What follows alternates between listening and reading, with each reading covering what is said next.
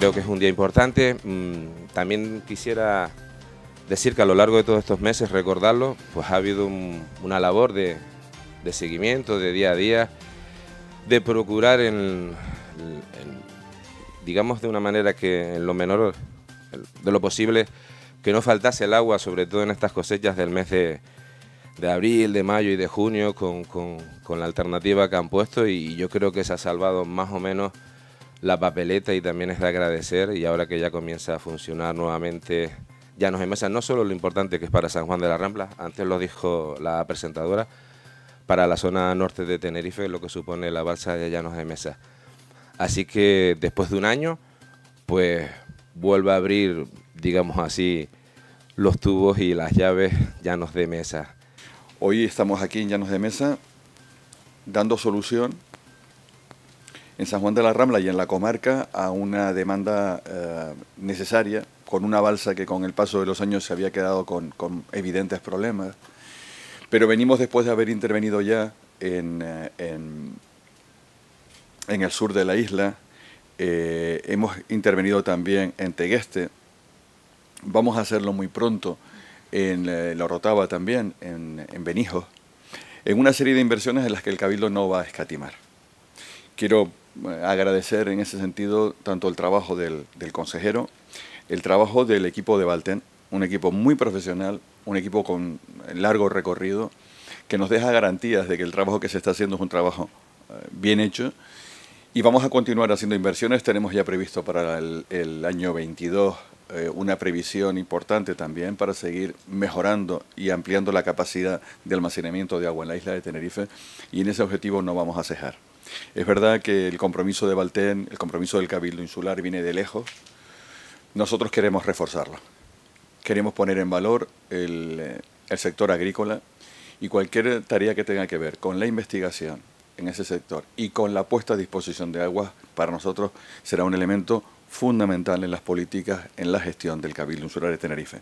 Y como obras son amores, eso lo veremos muy pronto, consejero, ¿verdad?, en los presupuestos del año 22, donde vamos a poner una partida importante destinada a todo el ámbito al que llega Valtén, todo el ámbito que tiene que ver con la depuración de agua, todo lo que tiene que ver con poner más y mejor agua a disposición de los agricultores. Alcalde, espero que solucione de alguna manera o, de tranquilidad a los agricultores de, la zona.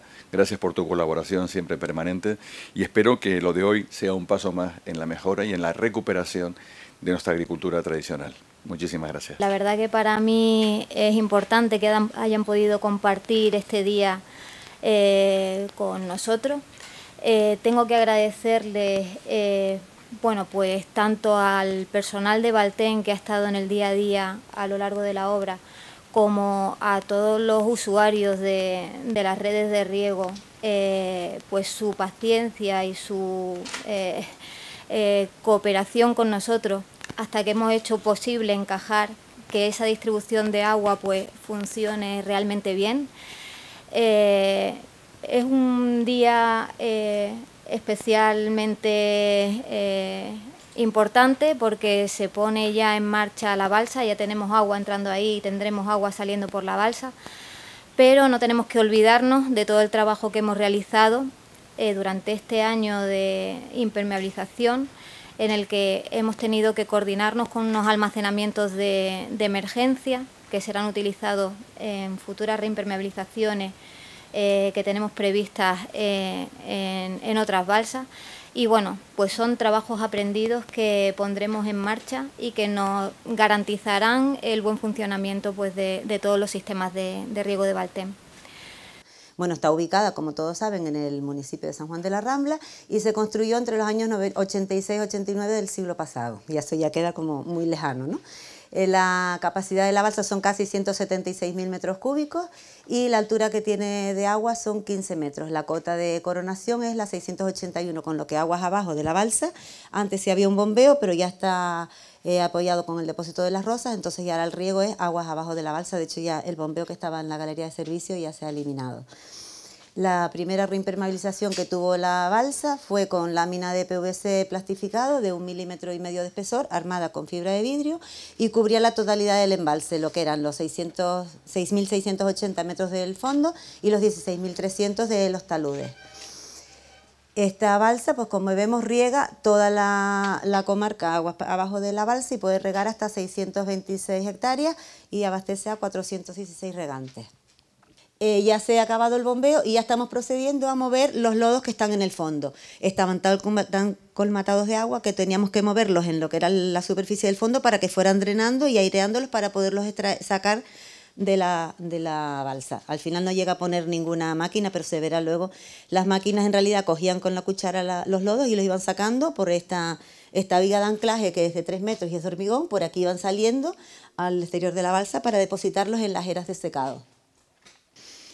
Por otro lado, eh, la, sección de explotación adquirió un depósito de cabecera, que lo tenemos aquí mismo, para, de regulación, porque claro, visto que cuando los sobrantes de, los consumos, pues para no tirarlos al barranco, se, instaló este depósito y entonces pues todos los sobrantes entraban en, el depósito y tenían ya un depósito de regulación y no solamente se abastecían con el depósito de las rosas. La galería de servicio también, eh, por parte de explotación, adecuó toda la galería. También, eh, pues aquí había desde un principio los bombeos para poder regar las zonas altas.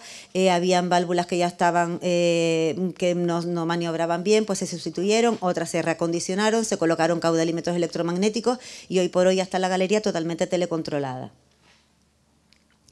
Por parte de infraestructura, por otro lado, eh, a requerimiento, porque ya venía, viene en un proyecto que todavía no ha salido, pero bueno, sustituimos lo que fue el vallado eh, en, la, en la linde de la, de la parcela con la, con la carretera y el desbroce de dos metros de, ancho con esta linde y también eh, sacamos en ese proyecto de mejora eh, la mejora de la, de la, agua que se le va a aportar hoy por hoy a los, a los agricultores. Se ha colocado una toma flotante que lo que hace es que va a coger el agua en superficie, con lo que pues vamos a mejorar biológicamente el agua eh, al agricultor, puesto que se va a tomar el agua en donde no hayan procesos de eutrofización y no hayan pues esos malos olores a veces que producen las aguas, aunque no habíamos tenido nunca quejas por parte de, este, de, de los agricultores de esta zona, o por lo menos que a mí nunca me había llegado a oídas, pero de esta manera pues la mejora del agua se, se va a notar.